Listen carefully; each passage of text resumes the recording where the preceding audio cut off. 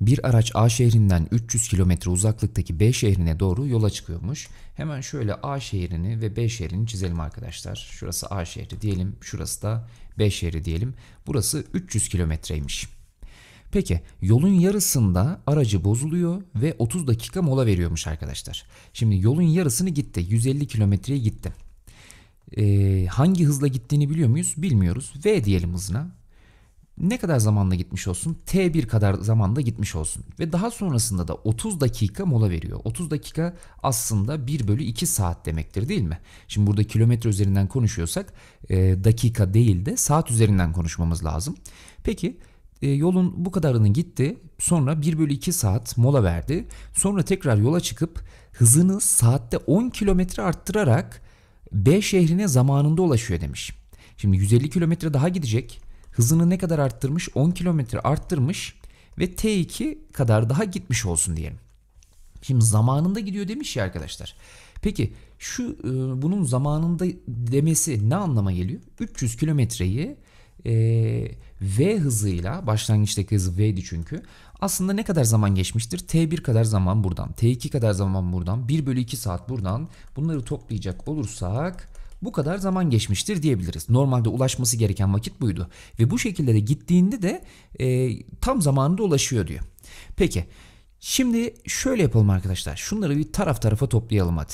150 buradan 150 buradan 300 geldi. V çarpı T1 geldi. Aşağıdan V çarpı T2 geldi. Artı 10 T2 geldi. Şimdi şu 10 T2'yi sol tarafa atacak olursak 300 eksi 10 T2 eşittir. V T1 artı VT2 olarak gelmiş oldu. Şimdi şu ifadeyi açacak olursak. Şu ifadeyi açıyorum. 300 eşittir. V çarpı T1 artı V çarpı T2 artı V çarpı 1 bölü 2'den V bölü 2 gelmiş oldu. Şimdi V çarpı T1 V çarpı T2 e, artı V çarpı T2. Bu ifadeyi gördüğümüz yere ne yazabiliyorduk burada? 300 eksi 10T2 yazabiliyorduk. Hemen gidelim şu ifadeyi gördüğümüz yere 300 eksi 10T2 yazalım. 300 eşittir diyorum. Bu ifadeyi gördüğüm yere de 300 eksi 10t2 yazdım. Artı yanında v bölü 2 var. Şimdi 300'ler karşılıklı olduğu için bunlar gitti. Eksi 10t2'yi sol tarafa attım. Artı 10t2 olarak geçti. Eşittir v bölü 2 olarak geldi. Hatta e, ne yapabiliriz burada? Şöyle bir şey yapabiliriz. T2'yi yalnız bırakmak için iki tarafı 10'a böldüğümüzde burası aslında V bölü 20 olarak gelir diyebiliriz. Bize neyi sormuş? Aracın ilk hızı saatte kaç kilometredir diye sormuş arkadaşlar. Bunu nereden bulabiliriz? Şuradan bulabiliriz mesela. T2'yi gideriz yerine yazarız oradan bulabiliriz. 150 eşittir diyorum.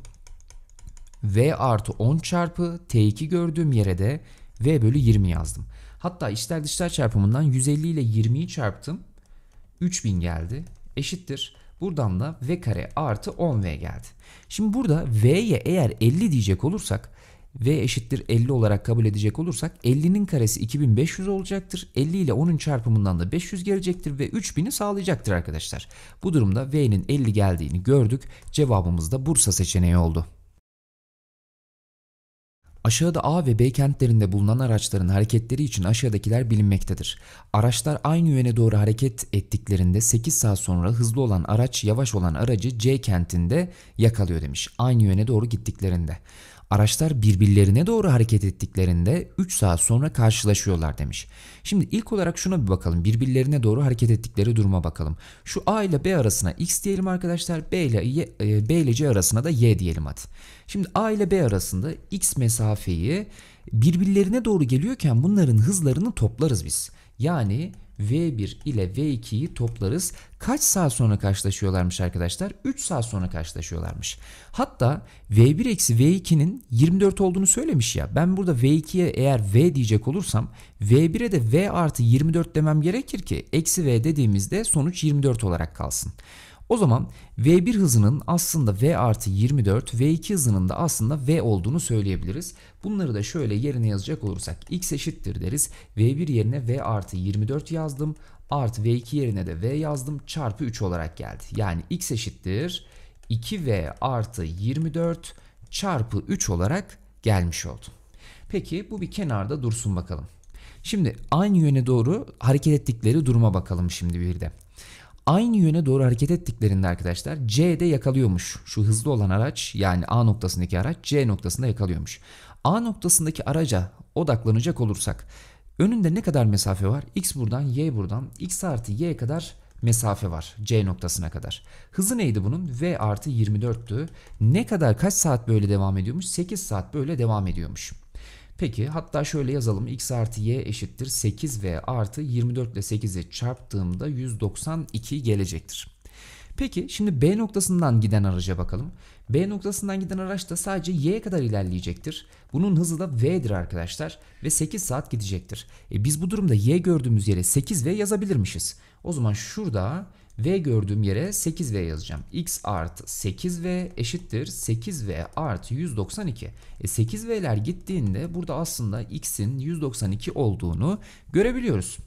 Peki bize neyi sormuş? Yavaş olan aracın saatteki hızı kaç kilometredir? Yani V'yi sormuş bize. Bunu nereden bulabiliriz? X'i bulduk gidelim şurada ilk bulduğumuz denklemde yerine yazalım. 192 eşittir 2V artı 24 çarpı 3. İlk olarak iki tarafı da 3'e bölecek olursak arkadaşlar. Şuradan kaç gelecektir? 183'e bölsen 60 gelir. E, 64 geliyor. Aynen 64 eşittir 2V artı 24 oldu. 24'ü de sol tarafa attığımda eksi 24 olarak geçti. 64'ten 24 çıktı 40 kaldı. İki tarafı da 2'ye böldüğümüzde V eşittir 20 olarak gelecektir. Cevabımız da Adana seçeneği olur. Aşağıda çembersel bir yolda aynı noktadan zıt yönde harekete başlayan iki kişinin görseli verilmiştir. Hızları dakikada 15 metre ve 20 metre olan bu iki kişi 6 dakika sonra karşılaşıyorlarmış. 6 dakikada 1, metre, 1 dakikada 15 metre yol alan 6 dakikada kaç metre yol alacaktır arkadaşlar? 6 çarpı 15'ten 90 metre yol alacaktır diyebiliriz. Peki 1 dakikada 20 metre yol alan 6 dakikada 120 metre yol alacaktır diyebiliriz. Şu noktada da karşılaşmış olsunlar. Buna göre hızı az olan yani şu 15'ten bahsediyor. E, karşılaştıktan kaç dakika sonra A noktasına ulaşır? Şimdi burada karşılaştı. Buradan A noktasına kaç metre varmış arkadaşlar? 120 metre varmış. E bu dakikada 15 metre atıyordu. O zaman 120 e, 15'e böldüğümüzde aslında 8 dakika sonra e, A noktasına ulaşır deriz. Cevabımız Adana seçeneği olur. Bir araç her 20 dakikada bir hızını 10 kilometre azaltmaktadır. Bu araç harekete başladığı yer ile ulaştığı yer arasındaki 150 kilometreyi toplam 2 saatte kat etmiştir. Buna göre aracın başlangıçtaki saatteki hızı kaç kilometredir diye sormuş arkadaşlar. Şimdi burada kilometre ve saat üzerinden hesap yapacağımız için ilk olarak şu 20 dakikayı e, çevirelim saate çevirelim. Nasıl çevireceğiz? 20 bölü 60 yani 1 bölü 3 saat demektir bu arkadaşlar. 1 bölü 3 saat. Ne yapacağız peki? Toplam kaç kilometre gitmiş? 150 kilometre gitmiş. X eşittir V çarpı T formülünden. X burada nedir? 150'dir yolumuz. Peki hızımız neymiş? Hızımız gitgide 10 kilometre azalıyormuş. Yani şöyle ki bak. Başlangıçta V hızıyla başlamış olsun. Bu 20 dakika böyle devam edecek. 20 dakika demek 1 bölü 3 saat demektir. Böyle devam edecek. Sonra bu e, 10 kilometre azaltacak hızını 20 dakikada böyle devam edecek. Yani 1 bölü 3 saat daha böyle devam edecek. Sonra 20, e, 10 kilometre daha azaltacak. Yani V eksi 20 olacak hızı 1 bölü 3 ile çarpıyorum tekrar. V eksi 30 oldu. Yine 1 bölü 3 ile çarpıyorum. Sonra V eksi 40 oldu. Yine 1 bölü 3 ile çarpıyorum. Bu ne zamana kadar devam edecek arkadaşlar? 2 saat demiş ya. Şimdi şunlara bakalım. Şu 1 bölü 3'lerin her biri 20 dakika anlamına geliyordu. 20 dakika buradan, 20 de buradan 40. 20 buradan 60. 60 yani 1 saat oldu şuraya kadar. Burası 1 saat 20 dakika, 1 saat 40 dakika. Eğer bir 20 dakika daha koyarsak 2 saati tamamlamış olacağız. Dolayısıyla bir tane de V eksi 60 yazdım.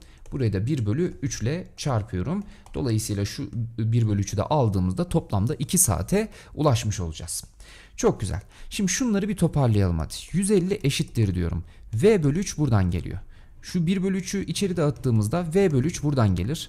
Ee, eksi 10 ile daha sonra çarpalım. Önce V bölü 3'leri yazalım. Kaç tane V bölü 3 bulunur bu şekilde arkadaşlar? 1, 2, 3, 4, 5, 6 tane V bölü 3 bulunur. Şu şekilde yazalım hepsini hadi ayrı ayrı. Daha sonra başka neler var? Başka eksi 10 ile 1 bölü 3 buradan gelecek. Yani eksi 10 bölü 3. Eksi 20 çarpı 1 bölü 3 yani eksi 20 bölü 3. Eksi 30 bölü 3. Eksi 40 bölü 3. Eksi e, şurası eksi 60 yazmışız ama bu 50 olacak arkadaşlar. Çünkü 10 kilometre azaltıyorduk her defasında. Yanlış olmasın burası. Ee, buradan da ne gelecektir? Eksi 50 bölü 3 gelecektir. Şimdi şunu toparlayıp şuradan devam edecek olursak 150 eşittir diyorum. 6v bölü 3 geldi. Diğerlerini de toplayacak olursak 10, 20 daha 30, 30 daha 60, 40 daha 100, 50 daha 150. 150 bölü 3 olarak gelmiş oldu. Yani 150 eşittir 2v eksi 50 geldi. Eksi 50'yi sol tarafa atıyorum. Artı 50 olarak geçti. 150'ye 50 eklediğimizde 200 eşittir 2v olarak geldi. İki tarafı da 2'ye böldüğümüzde v eşittir buradan 100 olarak gelecektir. Cevabımız da denizli olur. Bir bisikletle A ve B şehirleri arasındaki mesafeyi belirli bir sürede almak istemektedir. Bisikletli 20 km bölü saat hızla giderse belirlediği süreden 15 dakika erken. Şimdi arkadaşlar şurada birimleri doğru yazmamız lazım. Şimdi eğer kilometre bölü saatten bahsediyorsa biz burayı dakika olarak alamayız. Bunu da saate çevirmemiz lazım. 15 dakikada kaç saattir? 15 bölü 60'tan ee, ne geliyor arkadaşlar? 1 bölü 4 saat gelir. Peki 15 km saat hızla giderse belirlediği süreden 30 dakika geç. 30 dakikada kaç saat yapacaktır? 1 bölü 2 saat yapacaktır. Bunu da saate çevirdik. Peki x eşittir v çarpı t formülümüzdü zaten. Ee, x'imizin ne olduğunu bilmiyoruz. Burada v'nin 20 olduğunu söylemiş. Ve demiş ki belirlediği süreden 15 dakika erken. Belirlediği süreye t diyecek olursak 15 dakika erken gitmesi demek. Yani 1 bölü 4 saat erken gitmesi anlamına geliyor. Peki aynı x kadar mesafeyi eğer 15 km bölü saat hızla giderse bu defa, bu defada belirlediği süreden 30 dakika geç yani t'yi belirlemiştik buna 1 bölü 2 eklememiz lazım diyeceğiz. Şimdi bu ikisinin birbirine eşit olduğunu biliyoruz çünkü ikisi de x'e eşit sonuçta. 20 çarpı t eksi 1 bölü 4 eşittir 15 çarpı t artı 1 bölü 2 olarak geldi. 20 ee, ile 15 sadeleştirelim. 5'e bölsek şurası 4 olur. 5'e bölsek burası 3 olur. İçeri dağıttığımızda 4t eksi 4 çarpı 1 bölü 4 eşittir. 3t artı 3 çarpı 1 bölü 2'den 3 bölü 2 olarak gelir. 3t'yi sol tarafa atıyorum. Eksi 3t olarak geçti. 4t'den 3t çıktı. t kaldı. Şurada 4'ler sadeleşti. Eksi 1. Karşıya atınca artı 1 olarak geçecektir. Bir de burada 3 bölü 2 var. 2 çarpı 1 2. 3 de buradan 5 bölü 2 olarak geldi. Peki bize neyi sormuş? A ile B şehirler arasındaki mesafeyi sormuş. Yani aslında x'i sormuş. O zaman gidelim denklemlerden birinde t'yi yerine yazalım. Şu alttakinde yazacak olursak mesela x eşittir 15 çarpı 5 bölü 2 artı 1 bölü 2. 5 bölü 2 artı 1 bölü 2 6 bölü 2 demektir. Bu da 3 demektir arkadaşlar. 15 çarpı 3'ten de 45 olarak gelir x buradan. Yani cevabımız denizli seçeneği olur. Şekildeki dairesel pistin çevresi 360 metredir. A ve B noktalarından hızları sırasıyla 7 metre bölü dakika ve 5 metre bölü dakika olan iki hareketli aynı yönde saat 14.00'da harekete başlıyorlar. Araçlar ikinci kez yan yana geldiklerinde saat kaçı gösterir diye sormuş arkadaşlar.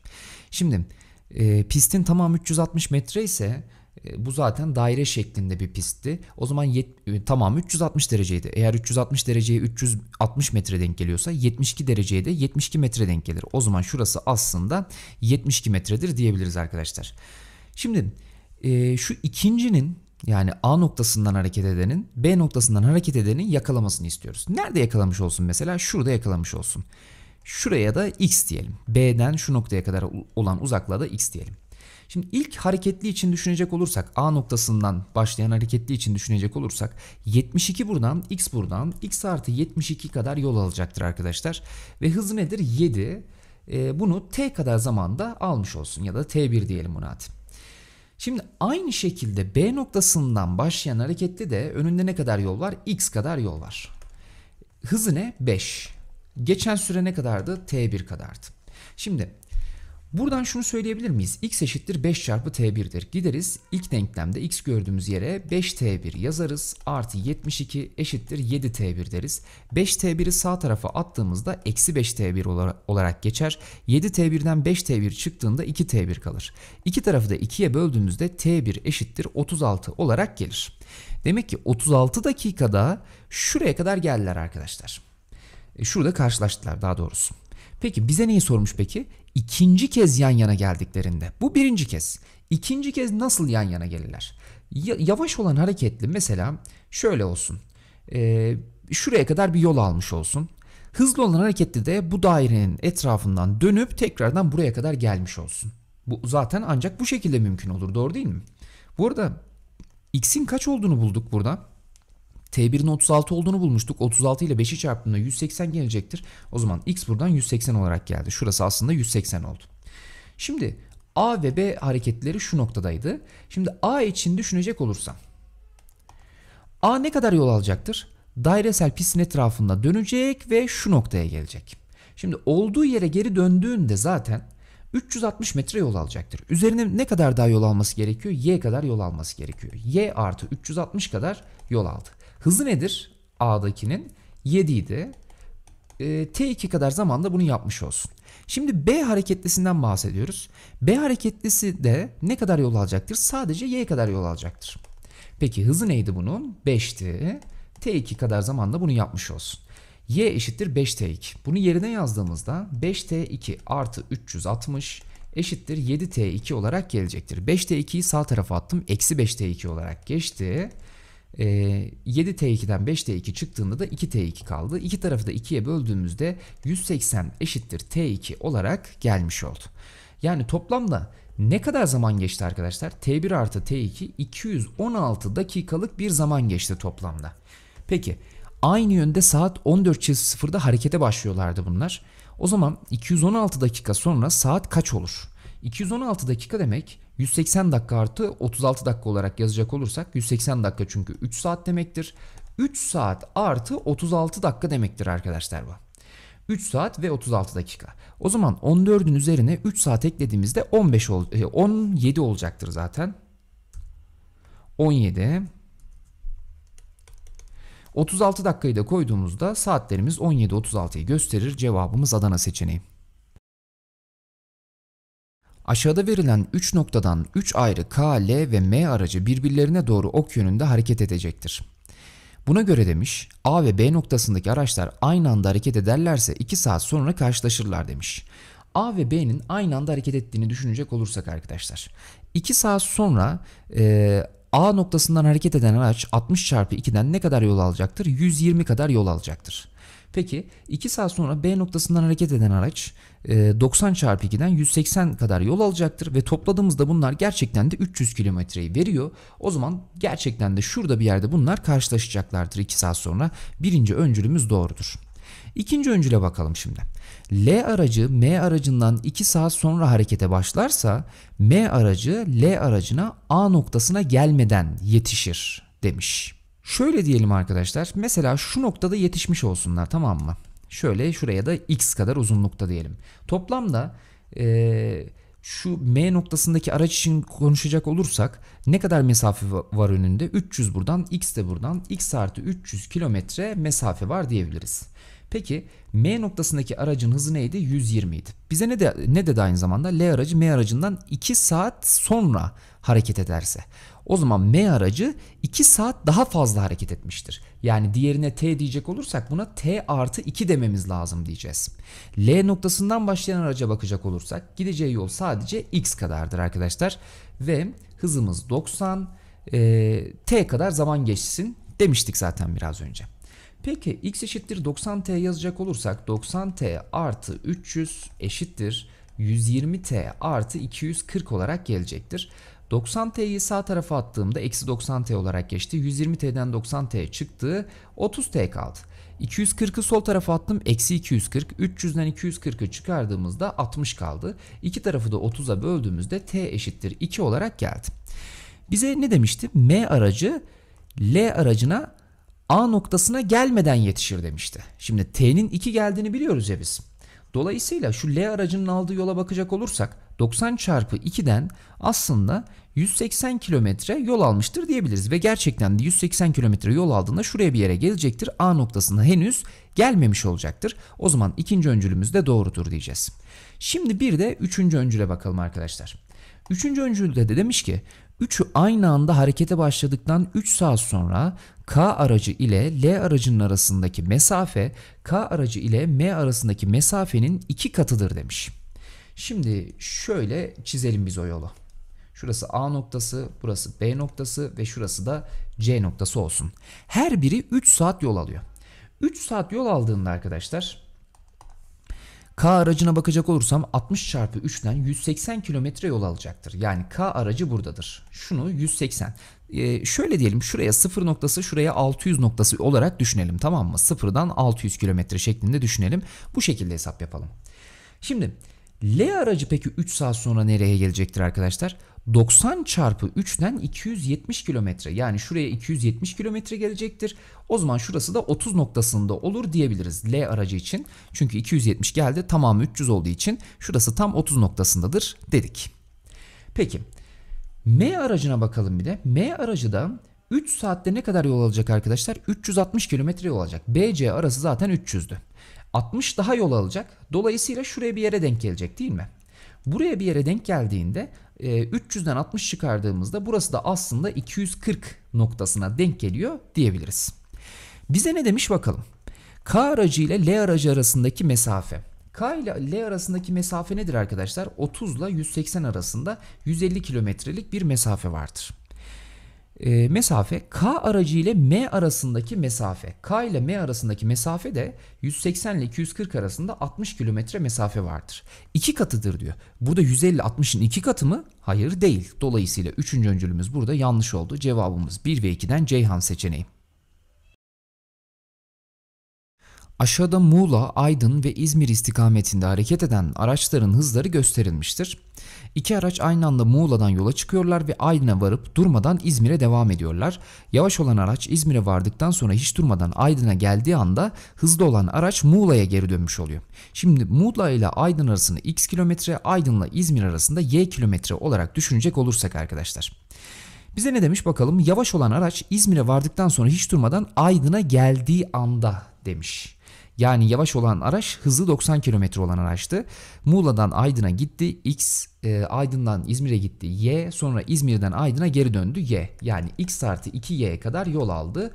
Eşittir dedik. E, hızımız 90'dı. T kadar zamanda bunu yapmış olsun dedik. Peki bu anda hızlı olan araç Muğla'ya geri dönmüş oluyor. Yani e, x artı y kadar gidiyor. x artı y kadar geri dönüyor. 2x artı 2y kadar yol almış oluyor. Hızımız ne? 120. Aynı anda dediği için e, burada geçen zamanda yine t kadardır diyebiliriz. Peki Muğla ile Aydın arası 90 kilometre olduğuna göre demiş. Yani x'in bize 90 olduğunu vermiş arkadaşlar. Hızlı olan araç hareketini kaç saatte tamamlamıştır diye soruyor. Şimdi burada ne yapabiliriz? Burada şöyle bir şey yapabiliriz. Birinci ifadeyi eksiyle çarpıp taraf tarafa toplasak bakalım ne gelecek. 2x'ten x çıktı x kaldı. 2y'den 2y çıktı y'ler gitti. 120t'den 90t çıktı 30t kaldı. Şimdi bize burada zaten Muğla ile Aydın arasının yani x'in 90 olduğunu söylemişti. O zaman 90 eşittir 30t diyecek olursak iki tarafı da şöyle 30'a bölelim. 30'lar gitti 90 bölü 3'ten t 3 olarak gelir. Bize neyi sormuş? Hızlı olan araç hareketini kaç saatte tamamlamıştır diye sormuş. E, hızlı olan araç şuydu. Hareketini t kadar zaman tamamlamıştı. E, t'yi de 3 bulduk. Cevabımız Ceyhan oldu. Yasin babasından denize gitmek için izin istemiştir. Babası akşam saat 19.00'a kadar eve dönmesi şartıyla izin vermiştir. Yasin bisikletiyle 40 kilometre uzaklıktaki bir sahile gitmiştir. Ee, dönüşte ortalama saatte 20 kilometre hızla hareket etmeyi ve 20 dakikada bir 10 dakika mola vermeyi planlıyor. Buna göre Yasin en geç saat kaçta harekete geçerse babasının söylediği zaman da eve varmış olur diyeceğiz arkadaşlar. Şimdi şöyle diyelim İlk olarak tabii şunu söyleyelim. 20 dakika demiş ya burada. 20 dakikayı saate çevirecek olursak 20 dakika 20 bölü 60'tan 1 bölü 3 saat olarak gelir. Peki toplamda gideceğimiz mesafe ne kadar? 40 kilometrelik bir mesafe. Eşittir diyorum hızımız ne? Saatte 20 kilometre. 20 çarpı 1 bölü 3 yani 20 dakika bu şekilde gitti arkadaşlar. Sonra artı bir mola verdi. Sonra 20 çarpı 1 bölü 3 daha gitti. Sonra 1 mola daha verdi. Sonra 20 çarpı 1 bölü 3 daha gitti. 1 mola daha verdi. 20 çarpı 1 bölü 3 daha gitti. 1 mola daha verdi. Bu şekilde devam edecekmiş. Ne olması gerekiyordu? Saat 19.00'a kadar eve dönmesi gerekiyordu. Peki yolu ne kadar zamanda tamamlar arkadaşlar? 20 bölü 3 buradan, 20 bölü 3 buradan, 40 bölü 3, 60 bölü 3, 80 bölü 3. E ne zaman 40'a eşit olacaktır? Bu 120 bölü 3 olduğunda. O zaman artı diyorum 20 bölü 3 buradan ve 20 bölü 3 de buradan gelecek olursa kaç tane 20 bölü 3 geldi? 6 tane 20 bölü 3 geldi değil mi? E, 6 tane 20 bölü 3'te nedir? 120 bölü 3'ten 40'ı sağlamış olacaktır. Peki niye böyle ayrı ayrı yazdım arkadaşlar? Şundan dolayı. Şu artıların her birinde bir 10 dakika mola vermiş olacaktır değil mi? Bak şurada bir 10 dakika mola. Burada bir 10 dakika mola. Burada aynı şekilde bir 10 dakika mola. 10 dakika mola ve 10 dakika mola dedik. Toplamda ne kadar zaman geçti arkadaşlar? E, molalar zaten 5 tane mola olduğu için 5 çarpı 10'dan 50 dakika molalara gitmiştir diyebiliriz. İlk olarak bunu söyleriz. Daha sonra şu bir bölüşlerin her biri zaten 20 dakika demekti. E, kaç tane bir bölüş var burada? 6 tane bir bölüş var. Yani 6 tane 20 dakika var. 6 çarpı 20'den burası da 120 dakika yapacaktır. Kaç dakika yani? 170 dakika gerekiyor eve gitmesi için. Şimdi 19'da evde olmasını istiyoruz biz. 170 dakika ne demektir bu arada? 2 saat 50 dakika demektir. O zaman 2 saat öncesine döndüğümüzde saat 17'ye dönmüş oluruz. 50 dakika daha öncesine döndüğümüzde 16 10'a dönmüş olacağız. Cevabımız da Edirne seçeneği olur.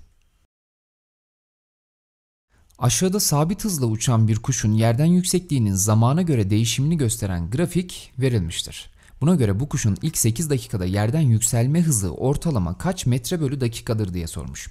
Şimdi V ortalamayı soruyor. Bu ne anlama geliyordu arkadaşlar? Toplam yol bölü toplam zaman anlamına geliyordu. Peki burada alınan toplam yol ne kadar? Yükseklik burada alınan toplam yolu gösterecektir. İlk 3 dakikada 10 metrelik bir yol almış. 3 ile 4 arasında yol almamış. 4 ile 6 arasında bir 30 metre daha yol almış. Şurada 10 metre yol almıştı. Burada 30 metre yol almış. 6 ile 8 arasında yol almamış. Toplamda ne kadar yol aldı arkadaşlar? 10 artı 30'dan 40 metre yol almış oldu. Peki bunun için kaç dakika geçmiş oldu? 8 dakika geçmiş oldu. O zaman 40 bölü 8'den 5 gelecektir. Cevabımız da Bursa seçeneği olur. Bir AVM'nin yürüyen merdivenleri saatte 3, 3 km hızla hareket etmektedir. Bir çocuk saatte ortalama 6 km hızla koşarak bu merdiveni 16 saniyede çıkıp indiğine göre merdivenin boyu kaç metredir diye sormuş. Şimdi arkadaşlar merdivenin boyuna burada x diyecek olursak çıkarken ki ne düşünecek olursak çıkarken aynı yöne doğru merdiven çıkıyor bir de çocuğun hızı var. O zaman 6 ile 3'ü yani hızlarını toplamamız lazım. T1 kadar zamanda çıkmış olsun. Tabii ki bunları kilometre olarak verdiği için T1 de burada kilometre cinsinden bulacağız. İnerken peki ne olacaktır arkadaşlar? Şimdi inerken çocuğun hızı 6 idi.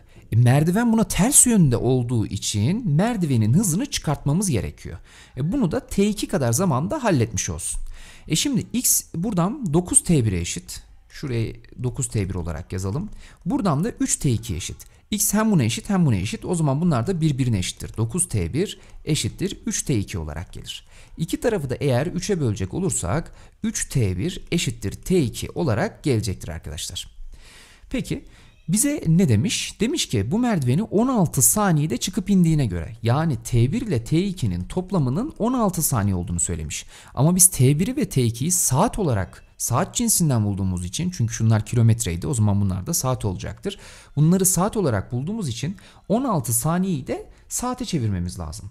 16'yı 60'a böldüğümüzde dakikaya çevrilir. Bir kez daha 60'a böldüğümüzde saate çevrilir diyebiliriz.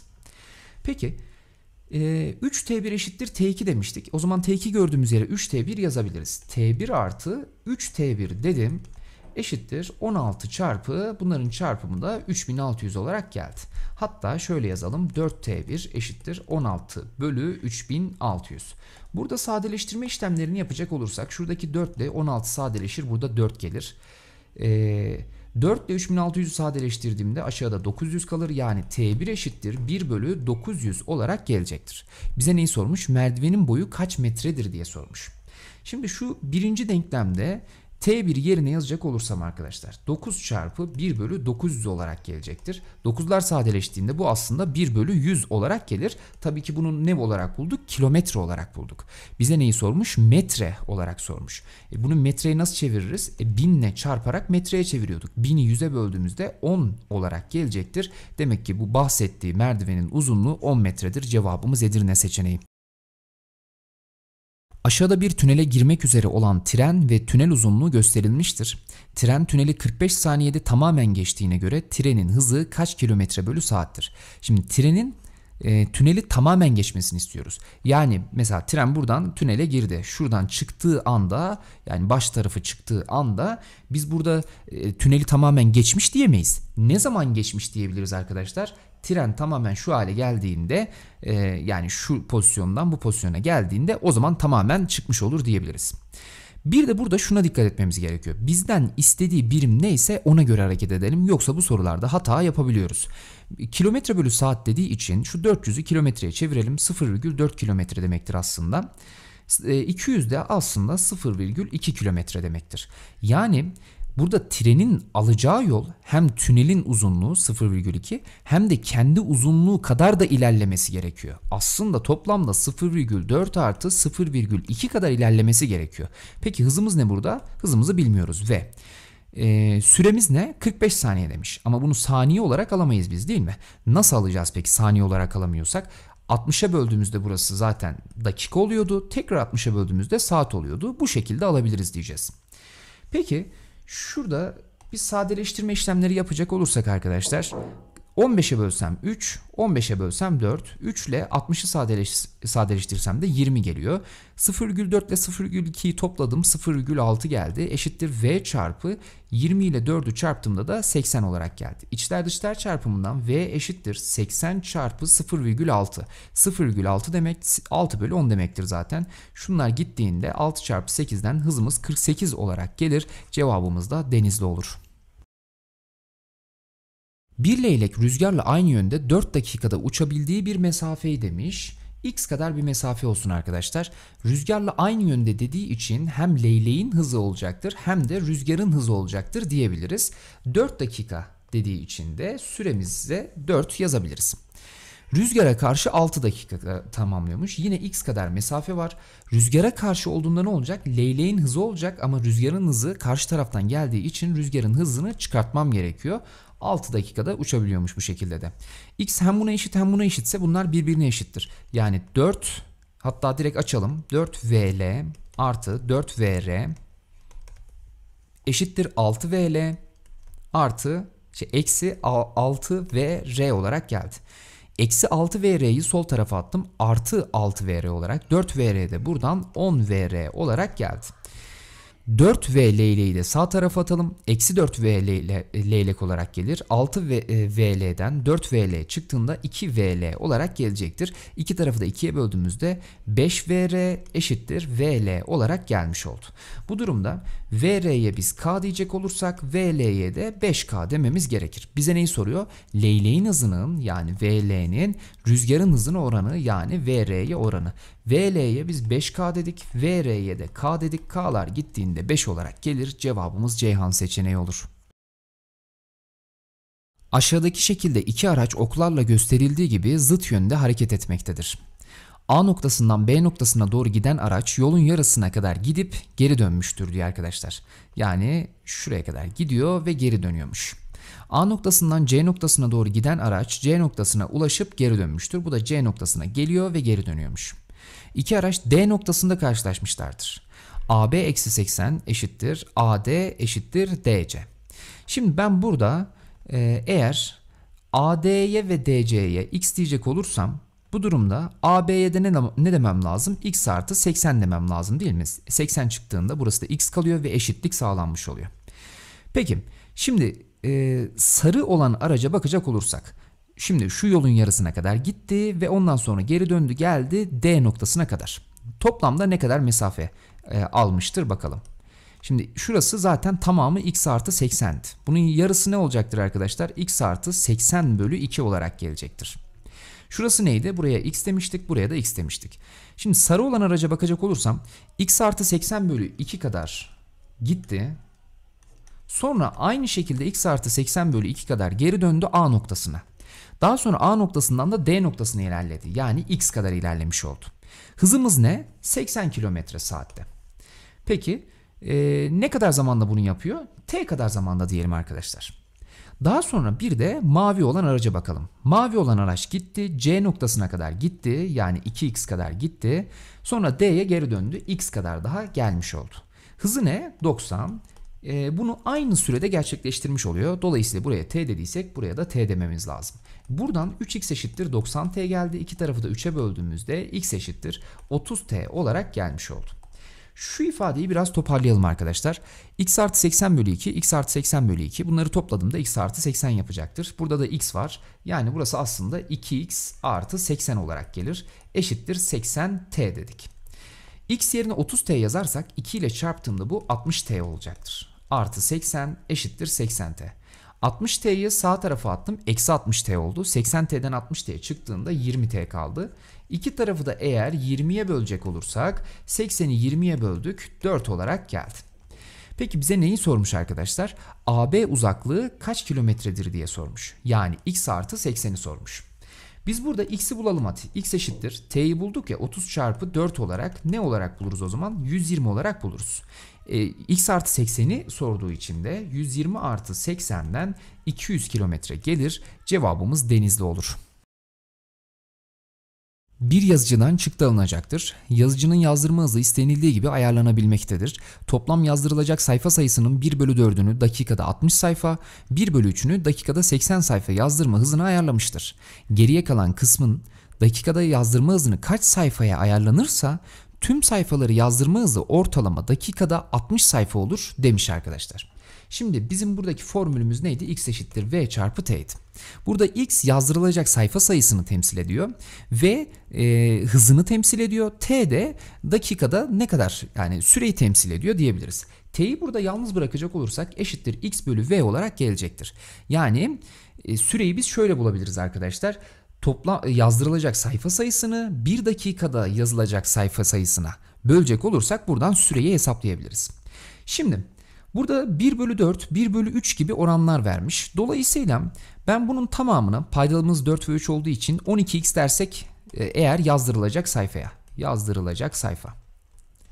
Böyle dediğimizde kesirlerle uğraşmayacağız artık. Peki 1 bölü 4'ü ne olacaktır 12x'in arkadaşlar? 3x olacaktır değil mi? Peki 3x'i diyor e, bunu x yerine 3x yazdım şu anda. 60 e, dakikada 60 sayfa demiş. Hızı 60'mış. O zaman v yerine 60 yazıyorum. Artı devam ediyorum. 1 bölü 3'ünü 12x'in 1 bölü 3'ü kaç yapıyor? 4x yapıyor. x yerine burada 4x dedik. Peki buradaki hızımız ne arkadaşlar? Buradaki hızımız da dakikada 80 sayfa. O yüzden 80'e böldük. Geriye kalan kısım Şimdi 3x buradan 4x buradan 7x yaptı. Tamamı 12x'ti. 12x'ten 7x'i çıkardığımızda geriye 5x kalacaktır diyebiliriz. Peki 5x kadarlık yazdırılacak sayfayı e, nasıl bir hızla eğer yazdırırsa v hızı diyelim buna da ortalama olarak dakikada 60 sayfa yazdırmış olur diyor. Eşittir diyorum arkadaşlar. Tamamı 12x'ti. Bunu yani tamamını hesapladığımızda ortalamada ortalama dakikada 60 sayfa gibi olsun diyor. Buradan V'yi bulmaya çalışacağız biz. Peki şunları bir toparlayalım önce. 3x bölü 60, 3 ile 60 sadeleştiğinde buradan x bölü 20 gelecektir. 4x bölü 80, 4 ile 80 sadeleştiğinde yine x bölü 20 gelecektir. Ee, burada 5x bölü v var. Eşittir diyorum. Buradan da 3'e bölsem 4x, 3'e bölsem 20 olarak geldi. Paydanın 20 olarak kalması için daha fazla sadeleştirmedim. 2x bölü 20 geliyor buradan arkadaşlar. Karşı tarafa attığımda 5x bölü v eşittir 4x bölü 20 eksi 2x bölü 20 olarak geldi.